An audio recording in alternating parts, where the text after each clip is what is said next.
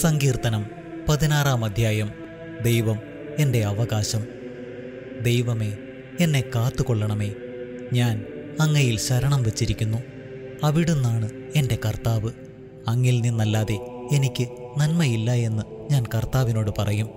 ലോകം വിശുദ്ധരെന്ന് കരുതുന്ന ദേവന്മാർ നിസ്സാരരാണ്.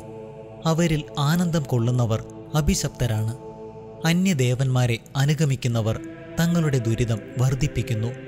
ഞാൻ അവർക്ക് രക്തം കൊണ്ട് പാനീയബലി അർപ്പിക്കുകയില്ല. ഞാൻ അവരുടെ നാമം ഉച്ചരിക്കുകയില്ല. കർത്താവാണ് എന്റെ ഓഹരിയും പാനപാത്രവും.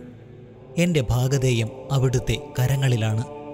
അഭികാമ്യമായ ദാനമാണ് എനിക്ക് അളന്നു കിട്ടിയിരിക്കുന്നത്. വിശിഷ്ടമായ അവകാശം എനിക്ക് ലഭിച്ചിരിക്കുന്നു. എനിക്ക് ഉപദേശം നൽകുന്ന കർത്താവിനെ ഞാൻ വാഴ്ത്തുന്നു. രാത്രിയിലും എന്റെ അന്തരംഗത്തിൽ പ്രബോധനം നിറയുന്നു. കർത്താവ് എപ്പോഴും എന്റെ കൺമുമ്പിലുണ്ട്. അവിടുന്ന് എന്റെ വലതുഭാഗത്തുള്ളതുകൊണ്ട് ഞാൻ കുലുങ്ങുകയില്ല. അതിനാൽ എന്റെ ഹൃദയം സന്തോഷിക്കുകയും അന്തരംഗം ആനന്ദം കൊള്ളുകയും ചെയ്യുന്നു.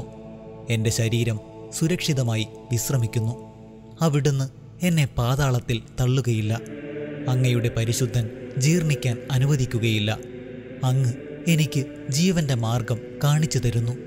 അങ്ങയുടെ സന്നിധിയിൽ ആനന്ദത്തിന്റെ പൂർണതയുണ്ട് അങ്ങയുടെ വലത്ത് കൈയിൽ ശാശ്വതമായ സന്തോഷമുണ്ട്.